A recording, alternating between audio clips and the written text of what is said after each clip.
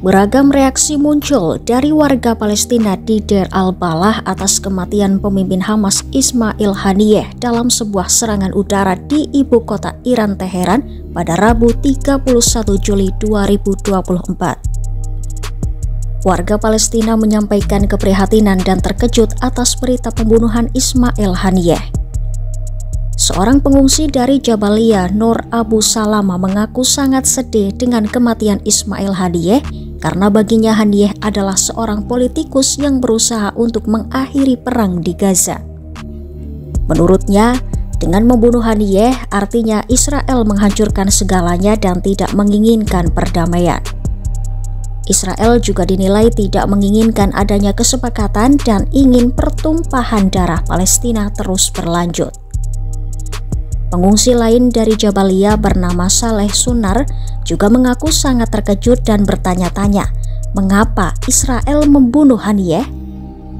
Sebab menurutnya Haniyeh adalah sosok pemimpin Palestina yang cinta damai. خبر يعني كان مفجع جدا على قلبي وقلوب الشرفاء في فلسطين داخل فلسطين في الداخل وفي الشتات هذا الرجل يعني هذا الرجل قائد قائد فلسطيني وليس قائد من حركة حماس هذا قائد فلسطيني. هذا الرجل رجل سلام بحب السلام وبيعشق السلام وبيعشق الوحدة الوطنية. إسرائيل قتلت رجل السلام. يعني هذا الرجل ممكن هذا وقع الصفقة صفقة الأسرة الإسرائيليين. كان هو بده يوقعها. ليش قتلوه؟ هم قتلوا السلام ما قتلوش اسماعيل هنيه قتلوا السلام بأكمل مشروع بحاله قتلوه إسرائيل. ليش قتلوه؟